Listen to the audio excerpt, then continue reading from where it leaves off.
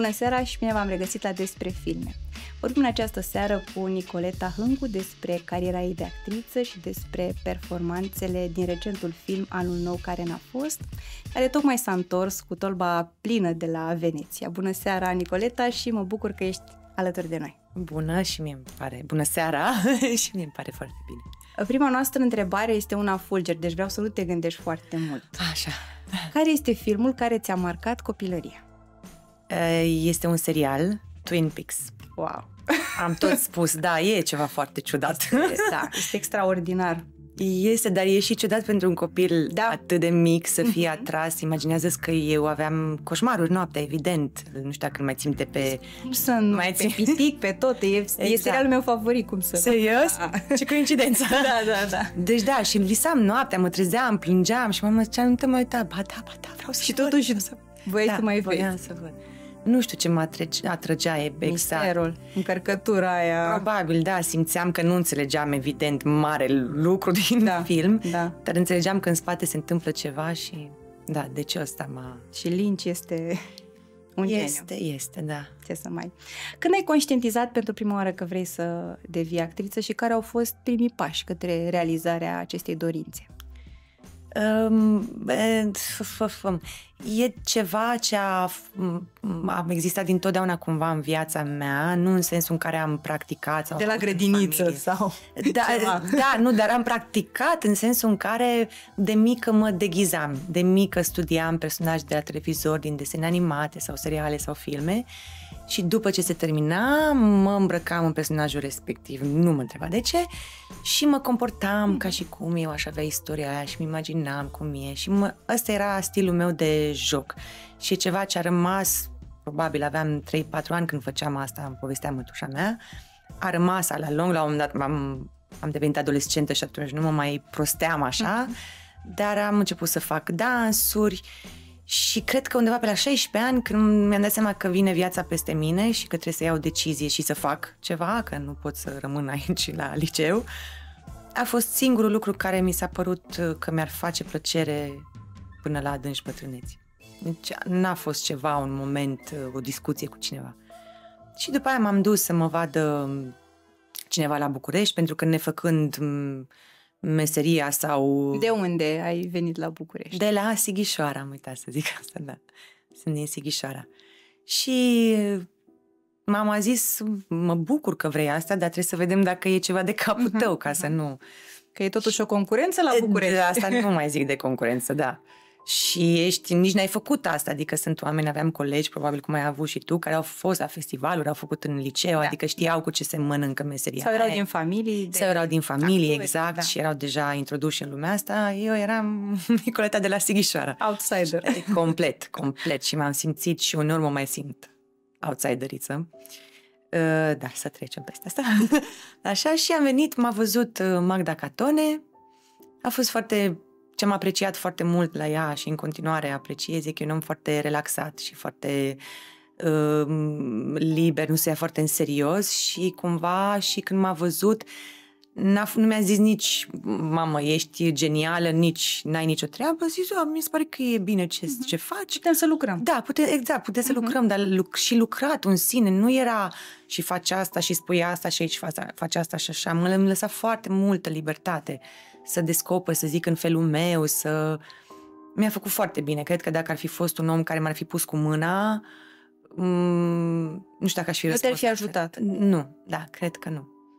Ai dat la admitere la facultate? Am dat. Ai intrat din prima? Intrat, da, am intrat din prima, a treia, știu că a fost un wow. șoc, da. Mama nu înțelegea cum, nu știu, nici eu nu știu exact.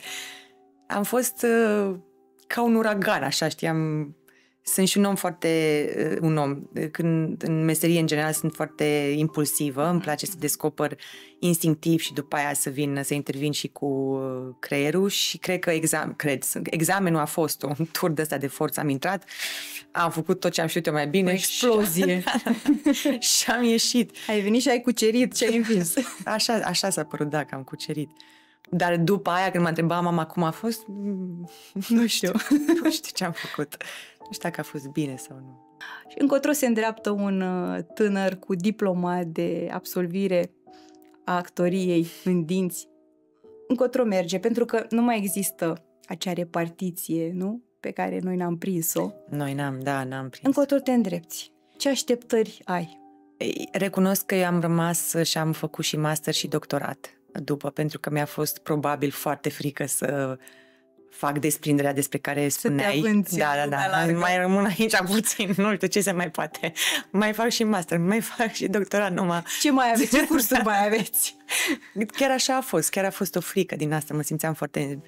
M-am simțit în siguranță. Am avut mm. niște profesori uh, care, da, cu care m-am simțit foarte bine și cumva am, asociam facultatea cu un soi de familie wow, și nu voiam să mă desprind.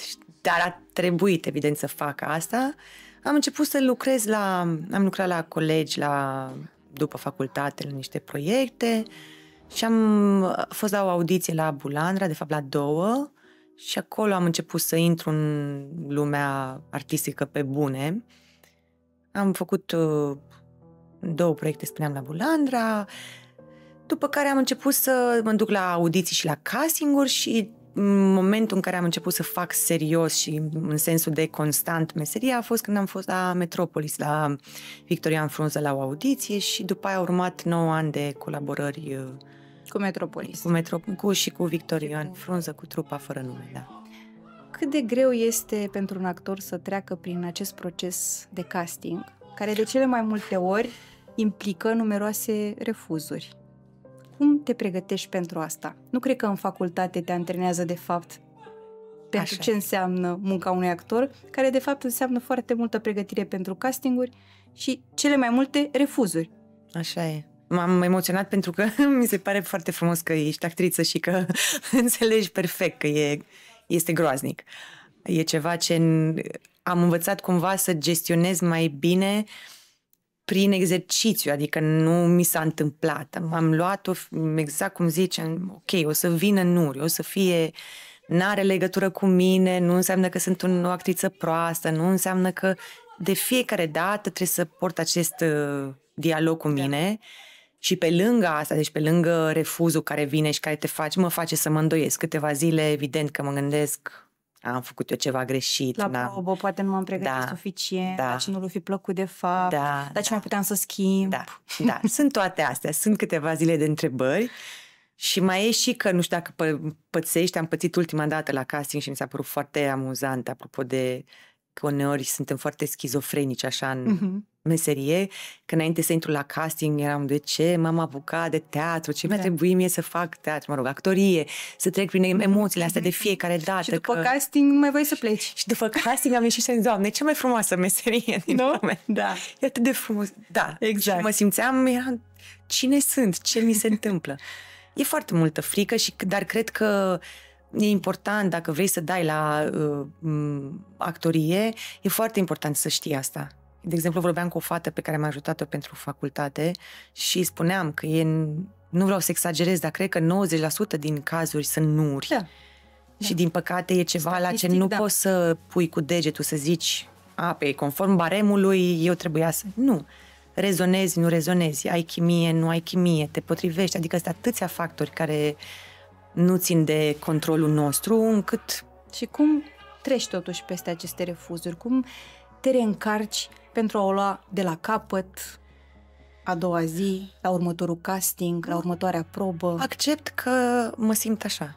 Nu, nu mai încerc să mă păcălesc. Înainte încercam să uh, zâmbesc, să zic că e ok și că oricum nu-mi pasă și, dar nu, nu e adevărat. Normal că îmi pasă, normal că m-am pregătit, normal că mi-am făcut speranțe și îmi dau voie să stau în uh, sosul ăla, ca să zic uh-huh. așa, de nu sunt suficient de bună, nu am... Sau nu m-am potrivit pentru rolul ăsta. Da, asta deja e indulgență, când ajung să zic. Asta deja sunt uh, indulgentă. Dar în primă fază încă mai e o rămășiță. dacă îți place rolul. Aia e, da, da. Că nu poți să accepti că nu te-ai potrivit. Da. Că tu simțeai că te potrivești. A greșit la clar cu ceva. El e de vină. de și cu regizorul. Oh. Da, ei n-au văzut, de fapt. Cum este să fii actor independent în România? Vreau să știu și dacă are și avantaje și dezavantaje, să vedem așa în balanță. Um, Că sunt și avantaje. Sunt, da, sunt uh, și cumva e ceva ce cred că mi-am dorit într-o oarecare măsură. Um, probabil și pentru că am luat un... Cred că domnul Pinta ne spunea că lui a plăcut foarte mult să facă ca fiecare proiect cumva să fie ceva ce și-a dorit real să facă, nu să facă orice îi se dă pentru că uh-huh. e mhm. angajat. Cred să că asta... Aleagă. Exact. Luxul uh-huh. de a alege. Libertate. Da, exact. Și e ceva ce m-a inspirat și pe mine. Mi-am dat seama că, într-adevăr, fiind o meserie vocațională, e foarte important că atunci când te duci, să te duci cu bucurie și să, pentru că altfel lucrul ăsta transpare. Da. Și am avut uh, norocul să fiu în, acest, în această trupă, deci să fiu cumva protejată, că deși nu exista un contract permanent, noi știam că în fiecare an vom face două proiecte și cumva aveam de muncă constant. E, o siguranță. O siguranță. Și făceam și lucruri care îmi plăceau, adică erau și roluri foarte diferite, eram și cu oameni cu care mă simțeam foarte bine. Și am avut se închegase un... Da, se închega... exact, se închegase un grup foarte frumos și am m- n-am mai, n-am mai fost nevoită să mă gândesc, știi, la ziua de mâine, financiar vorbind. Da. A venit pandemia, s-a destrămat și s-a terminat și această etapă și a fost, am, da, am primit o lovitură în față. E, este foarte greu. Cum spuneai și tu, într-adevăr, ai capacitatea de a alege și asta e foarte frumos, că nu nu, nu merg zilnic. constrâns. Da, nu ești constrâns, nu simți că trebuie să mergi în locuri în care nu te simți bine sau nu te poți integra sau sunt tensiuni inutile, dar vine la pachet și cu o lipsă de siguranță și stabilitate, și financiară, dar și artistică. Și este ceva cu ce mă lupt în continuare. Am temerea asta că nu o să fac și că chiar dacă acum am două proiecte, poate la anul Cine știe? Nu o să mai fiu, da, relevantă și atunci va trebui să caut eu niște texte, să scriu eu ceva, să e această... Nesiguranță. Da. Vreau să vorbim puțin despre anul nou care n-a fost și mm. cum ai ajuns tu să faci parte din uh, distribuția acestui film. Bănuiesc că printr-un proces de casting, nu? Cum începe totul. Da, dar printr-un proces de casting uh, diferit și foarte frumos am această teorie că fiecare avem drumul nostru și că ce e pentru tine este și ce nu, nu. Lucru da. care mă ajută, apropo de castinguri pe care nu le iau, că știu că nu e pentru mine, trebuie să facă altcineva proiectul ăsta. E, și la uh, anul nou care n-a fost, eu de fapt îl ajutam pe iubitul meu, pe Carol Ionescu, să dea, să facă un self-tape și trebuia să fie prin plan, el a zis nu, vreau să fie mediu plan, am zis ok, mă vedeam cumva cu spatele puțin, profilul foarte puțin, a trimis către uh, doamna Viorica Cap de Fier uh, proba, ea a zis, nu, trebuie să te vezi doar tu, că e vorba despre tine. El a zis, mhm. nu, nu, nu, vreau, vreau să rămân așa, lasă-l așa. Și Bogdan m-a văzut în proba respectivă și m-a chemat la casting. Deci a fost, de fapt, îi datorez lui Carol Ionescu rolul ăsta. Da, Incredibil. mă rog, șansa de a merge la castingul ăsta. Și ai dat, uh, ai dat proba Am de dat casting proba uh, de la început pentru... Pentru Florina. Florina. Da, da. Că de multe ori și se întâmplă să dai probă da, da, inițial da. pentru altceva și să te vadă că te potrivești de mm-hmm. fapt în alt rol. Se întâmplă foarte des. Da, da, da, da. Nu, aici am dat pe Florina, m-a chemat, cred că a doua zi, am dat pe încă vreo... Aveam două secvențe de învățat și știu că eram foarte panicată pentru că mi-e place să învăț foarte bine textul și să fiu Ca pregătit. poți să te joci, să ai siguranța exact. aia. Și eram două secvențe, nici nu le-am învățat bine și mi-a dus doamna Viorica, a zis, mai încă două, încă două, oh my god, panică. Da, da, da. Că nu e important să le înveți, important e să te vadă el, să vadă cum rezonezi cu personajul. Nu trebuie să zici la el. Da, da, da, cum credeam eu. Da. Că... Și am făcut, i-a plăcut, m-a mai chemat odată și după două săptămâni, cred, sau trei, am primit telefonul, mi-am că eram la mare, fugisem cu Carol o zi să mergem la mare, deja am luasem gândul și am destul de tristă, știi, nu l-am luat, mi-ar fi plăcut foarte tare și m-a sunat doamna Viorica, știi și cum e, cum e, știi, când primești telefonul de la da. director de casting și ești, oh my god, e de bine, e de rău, în general da. e de bine dacă da, te sună. Dacă te sună, da. și eram așa cu emoții și da, am răspuns, mi-a zis felicitări. A fost o zi foarte frumoasă, m-am bucurat. Vreau să ne faci cunoștință cu Florina. Florina. Cine este ea, de unde vine și ce vrea? Da, este o actriță angajată la Teatrul Notara care este invitată să spună, să recite Plugușorul Patriotic la TVR și ea nu vrea să facă asta. Și de aici pornește o întreagă nebunie care se uh, desfășoară pe parcursul unei zile, cred o zi și încă puțin.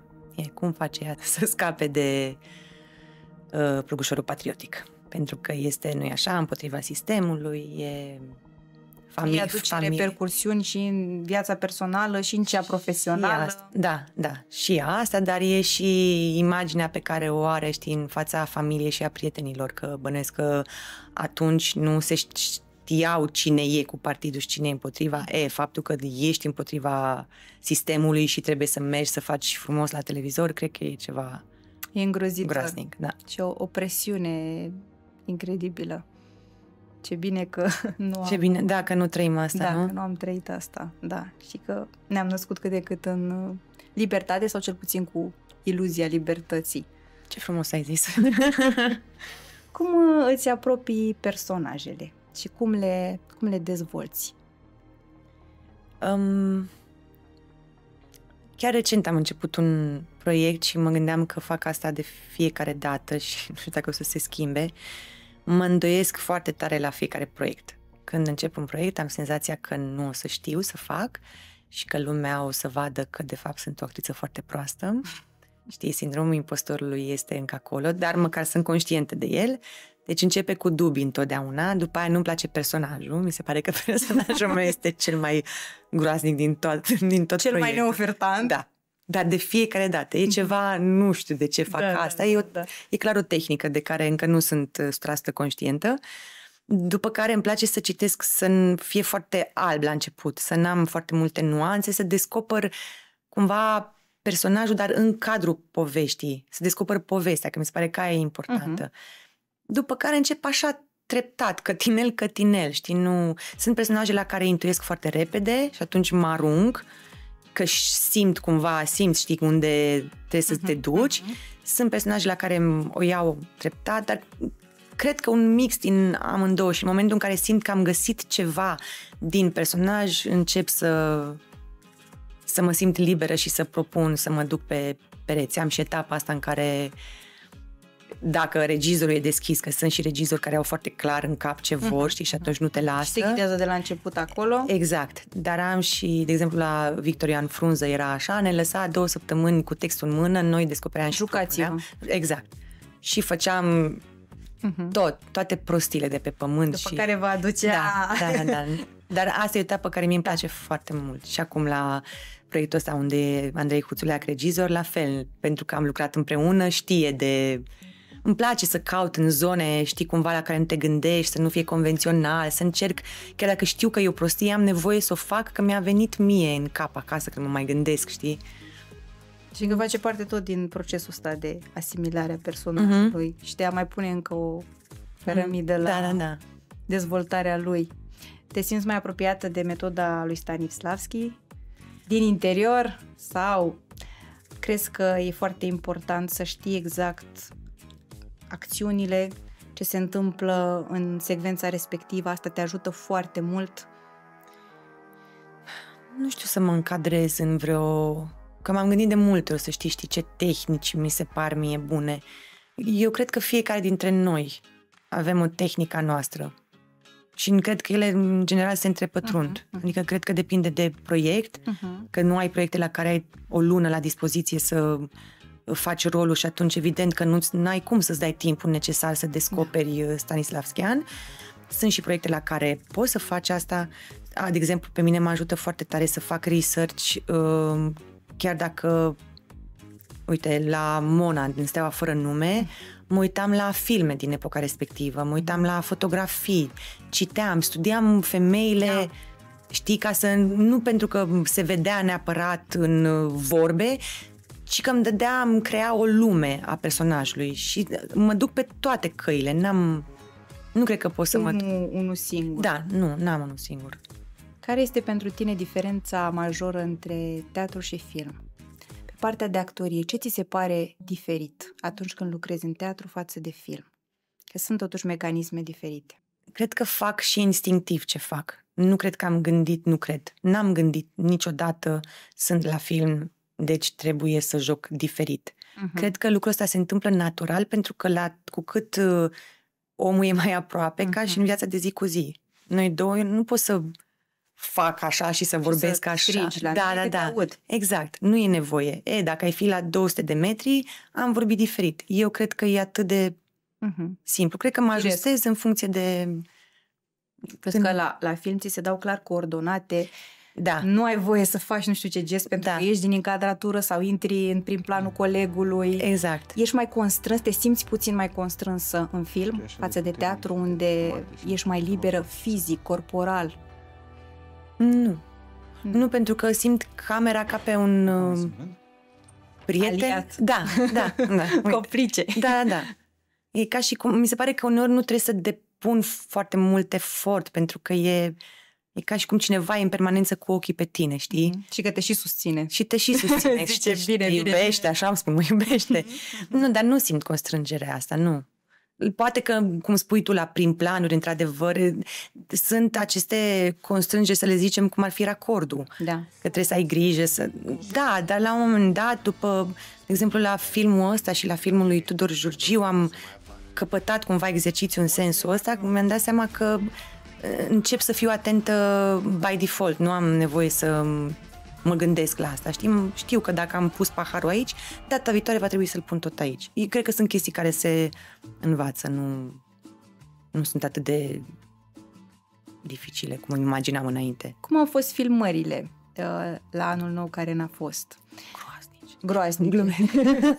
A fost frig. Uite, foarte mulți actori se plâng de condiții, că este foarte frig. Unii spun că îi ajută chestia asta. Uh-huh. Uh, toate uh, dezavantajele astea din jurul lor uh, îi, îi încarcă. Da. Um, am simt, asta, partea cu frigul, am avut noroc cu că fetele de la costume aveau peciuri de căldură. Ah, ce ce mană aveam, Da, aveam la picioare, la spate, la burtă, la... adică aveam momente când mi-era deja cald. Ce se întâmpla într-adevăr e că uh, mă strângeau, de exemplu, încălțările, erau cadre afară în anumite da, încălțări și asta mi-a fost dificil, dar nu n-a fost nimic uh,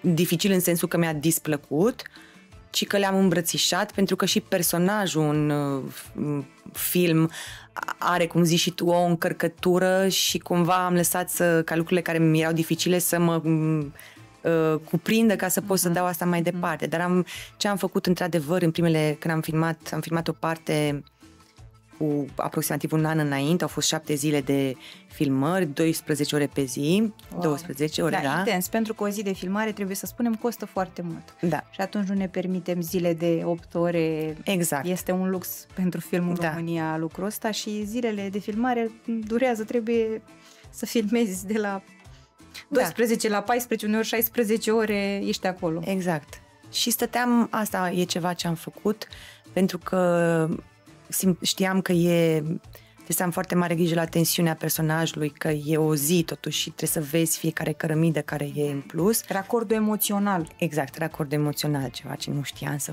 fac. Am stat tot timpul Mai în garsonieră.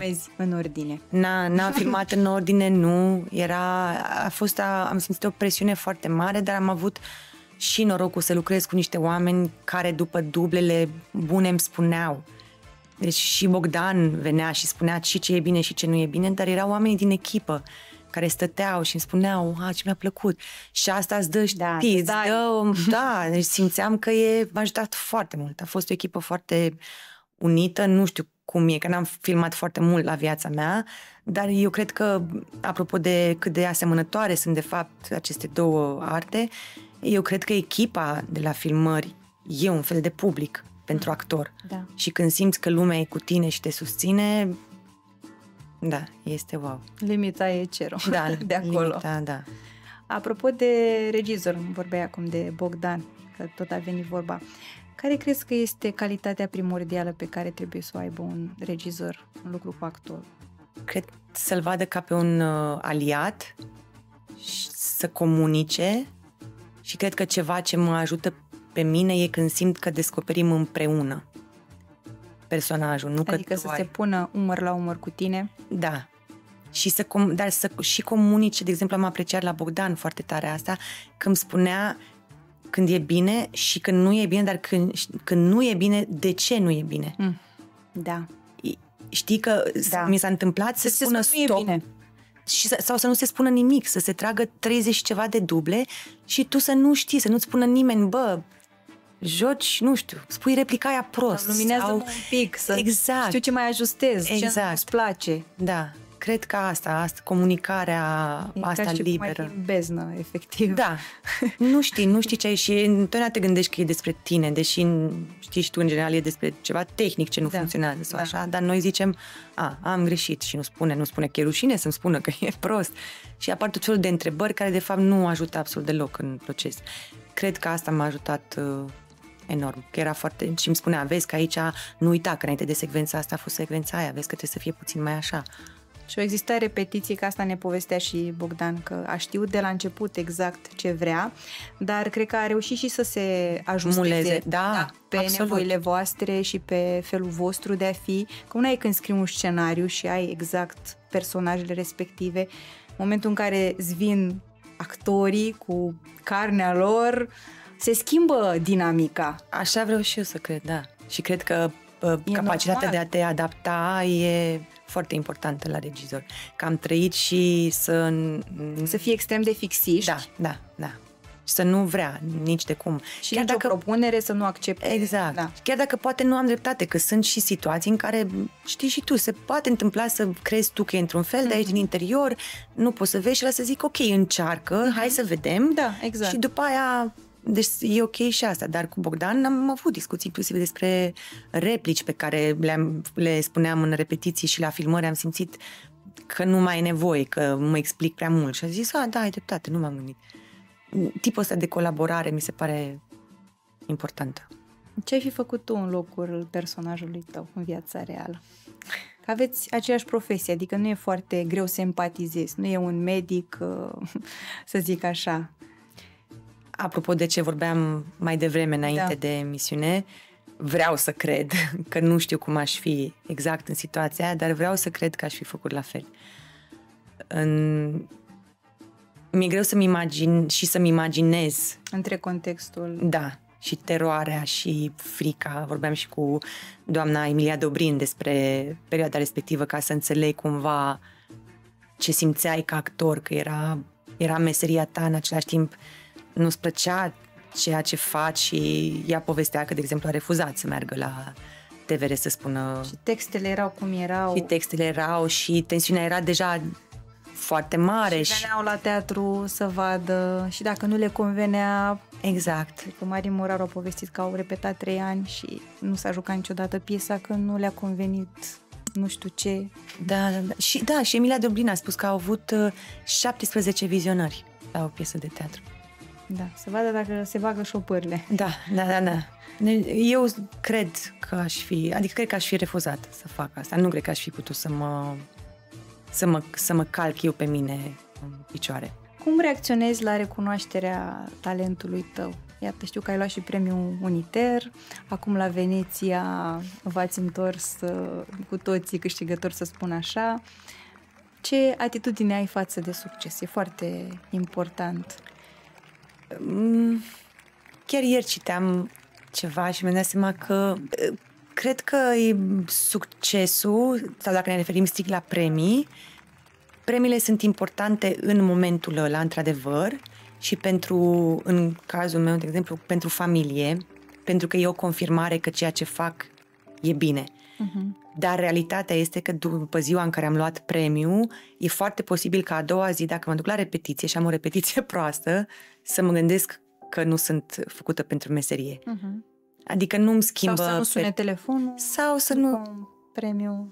Ceea ce mi s-a întâmplat, să nu fie relevant, să nu însemne că după aia o să fac, iată, în foarte multe filme. Nu știi, poate să fie singurul film pe care, singurul rol principal pe care îl faci. Don't actually know, dar um, um, nu nu știu cât de nu, știu, nu e atât de important succesul și nu vreau să sune a ipocrizie, dar mă bucur foarte tare când joc într-o seară și vine cineva din public și îmi zice că i-a plăcut sau când cineva, cum s-a întâmplat în ultimul timp cu filmul, uh-huh. să primesc mesaje de la oameni, de la un domn care mi-a spus că nu i s-a întâmplat niciodată să plângă și să râdă în același exact. timp. Da. Și asta pentru da. mine e ceva ce mă mă face să mă simt foarte împlinită, să simt că într-un fel contribui la uh, societate. Și că merită toată toți buciumul ăsta da, interior da. prin care treci de fiecare dată pentru a-ți construi personajele. Exact. Dar strict în, uh, dacă ne referim, de exemplu, la Veneția, mi-a fost, uh, mi-e greu să mă adaptez la genul ăsta de viață, adică um, e overwhelming de la un punct încolo, să primesc atenție, să trebuiască să fac fotografii, mm-hmm. să sunt să o combinație între continuu, să... Da, sunt o combinație între introvert și extrovert și am zile în care vreau să mă ascund și să stau în casă și să-mi încarc bateriile. Deci... Mm-hmm. Îți dai seama că în America nu prea se poate, ai văzut? Nu, nu știu dacă aș putea să rezist acolo, da. Uh, există vreun rol pe care ți-l dorești foarte mult? Dacă ai unul în minte din teatru sau, dacă nu, un gen de personaj pe care vrei să-l joci, o tipologie pe care ți-o dorești foarte mult? Da, cred că... Hai, stai să mă gândesc. N-am un rol anume, mm. deci nu e ceva ce nu mi-a... poți să zici, de exemplu, uite, Nina din Pescăruș. Am dat un exemplu. Da, da, da. nu, n-am, n-am să... Nu visez la unul dintre personajele astea, mă bucur când se întâmplă. Cred că o, un personaj negativ uh-huh. am mai jucat, dar cumva aveam tot timpul această frică fiind pleaser mă deranja când publicul nu mă suporta și mi-era frică să-mi asum, știi, că e sănătos să fie așa. Că faci ceva bine dacă ei te urăsc, da. personaj negativ. spectacol și ziceau, nu te-am suportat. Oh, tu l-ai personal, da. da. Dar mi-ar plăcea să mă explorez în zona asta și da, personaje uh, uite, de exemplu, uh, criminali, mm. uh, uh-huh. da. Sunt cele mai suculente. Cu afecțiuni, cu de, psihice, da, ceva în zona asta care să mă provoace să caut cumva mai departe. Uh, spune-ne ce proiecte ai în momentul ăsta, unde te văd uh, cei de acasă? La cinematograf, în... La anul nou care la n-a anul fost nou care și n-a invităm fost. să, să meargă dacă n-au fost până acum. Da. Este numărul întâi la box office. Este, da, în a doua săptămână a doua săptămână consecutiv. Consecutiv, ceea ce este o reușită extraordinară. Da, nu ne-am așteptat, adică nu Pentru ne-am, un film m-am românesc, așteptat. mă, exact. Mă refer, și îndeoseb pentru un film care vine și cu niște trofee. Știi, de obicei e chestia asta arătă public. Uh-huh. Sunt două lucruri complet diferite. Filmele care iau uh, trofee nu aduc spectatori. Așa e, da. Și uite, filmul ăsta vine să demonstreze că granița asta și delimitarea asta, de fapt, e doar în, în mintea noastră. Da. Că n-a existat niciodată acolo, de fapt. Așa e. Și că, iată, un film poate să placă și criticilor, dar să aducă și oameni, spectatori. Da. Și mă bucur că s-a întâmplat asta și sper să, da, să se întâmple în continuare și lumea să vrea să consume și filme românești. Deci, la anul nou care n-a la fost. anul nou care n-a fost. Uh, acum am început, uh, mă rog, am proiecte la Teatrul Dramaturgilor, uh, interesul general de Aurel Baranga. Avem la Metropolis California Suite, tot în regia lui Andrei Huțuleac. Mai am la Teatrul Masca două spectacole și acum, repet, pregătim un spectacol împreună cu mă rog, Andrei Huțuleac va fi uh, regizorul, dar e produs de Alexandru Ion și Evelin Vâlcu, uh, Marele Gatsby, mm. care o să aibă premiera în noiembrie și decembrie. Ce frumos! Ce faci tu în timpul liber? Ce hobby-uri ai? Of, pe topul este uh, mersul în uh, vacanțe și la munte. Am descoperit în ultimii doi ani drumețiile, nu făceam asta și am descoperit alături de Carol e ceva ce mă ajută foarte tare să mă întorc uh, la mine și uh-huh. să-mi mhm. dau seama că, de fapt, uh, ce facem noi e relevant până la un punct și că viața e și despre natură și stat și bucurat pur și simplu că trăiești și că existi și că respiri și că ești iubit Adică asta e ceva ce mă ajută foarte tare. Și timpul cu prietenii, fac uh, sport, fac deseori sport, îmi place, mă ajută să mă echilibrez. Ce da, sport? Emoțional. Yoga și kettlebell. Am făcut și box într-o vreme, dar uh, era prea dificil, adică ardea multe, prea multe Kettlebell calorii. Kettlebell ce este? Sună a... a ceva ciudat. Sună ceva cu un clopoțel. E, da, păi e ca un soi de clopot, e o greutate care mm-hmm. e ca o gentuță, ca mm-hmm, un clopot, mm-hmm, nu? Da. Și faci toate exercițiile cu acea greutate. Și ridici... Da. Mm. În mai multe feluri. Da, da, în mai multe feluri, exact. Nu știu cum să explic, da, bine să arăt, dar o să da, lovesc da, tot pe aici. Da, da. Dar l-am descoperit, da, de un an facem asta, kettlebell-ul citesc, meditez, nu știu, mă uit la filme foarte mult, prea multe filme și seriale. O recomandare pentru un serial, ia să vedem, sau un uh, film pe care l-ai văzut în ultima perioadă.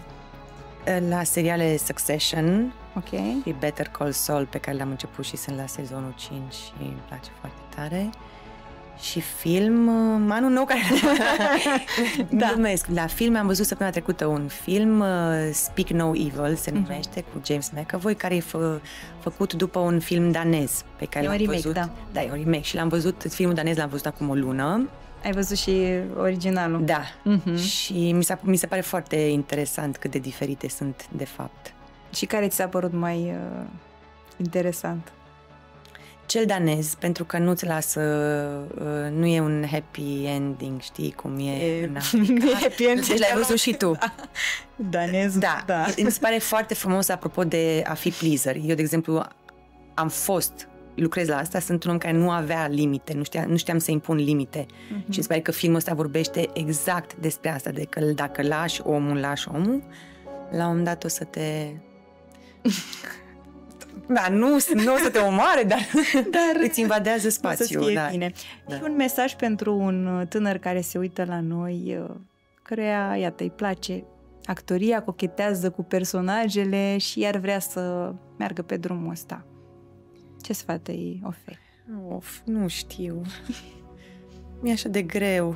Adică nu mi-e greu, e greu că mi se pare că e, e o meserie frumoasă, dar e foarte dificilă. Uh-huh. Și cred asta, să fii conștient că nu, în momentul în care dai la facultate și în momentul în care termin facultatea, nu înseamnă că ai devenit uh, persoană publică. Adică nu sunt lucruri care sunt neapărat dependente. Poți să faci meseria asta și să nu ai uh, succesul ăsta, adică vizibilitatea pe care o ai când faci uh, televiziune, uh, poți să dai la facultate și să nu faci meseria da. ulterior. Sunt foarte multe variabile. Sunt foarte multe și atunci nu știu. I-aș spune că e cu răbdare. Uite ce m-a ajutat pe mine foarte tare, ce mi-a spus mama, a fost că atunci când îți uh, clădești o carieră, o faci pas cu pas. Și că dacă te aștepți să ajungi direct sus, e foarte posibil că atunci când o să cazi, să cazi de acolo. Uh-huh. Și că cu cât e mai Uh, treptat așa succesul, cu atât e mai uh, nu știu, mai uh, asumată și partea bună și partea dificilă a meseriei. Și cred că asta, răbdare, i-aș spune să aibă răbdare, că la un moment dat se întâmplă. Și un mesaj pentru cei de acasă care ne-au urmărit până la final. Vă rog eu, veniți la anul nou care n-a fost. Mergeți, spuneți mai, dacă v-a plăcut, spuneți mai departe, dacă nu v-a plăcut, spuneți și atunci că e bine și să fie, să existe feedback negativ ca să știm cum să facem mai bine, dar vă rog, mergeți. Că și e... la teatru. Și la teatru. La teatru, da. Și la teatru și la film și peste tot. Consumați artă nu apă. Sau și și. și, și. Mulțumesc mult, Nicoleta, pentru prezența ta aici. A fost o, o reală plăcere. Și pentru mine. Uh, cu dumneavoastră mă revăd uh, data viitoare. Vă mulțumesc pentru atenție. Sunt Oana Duțu, pe curând.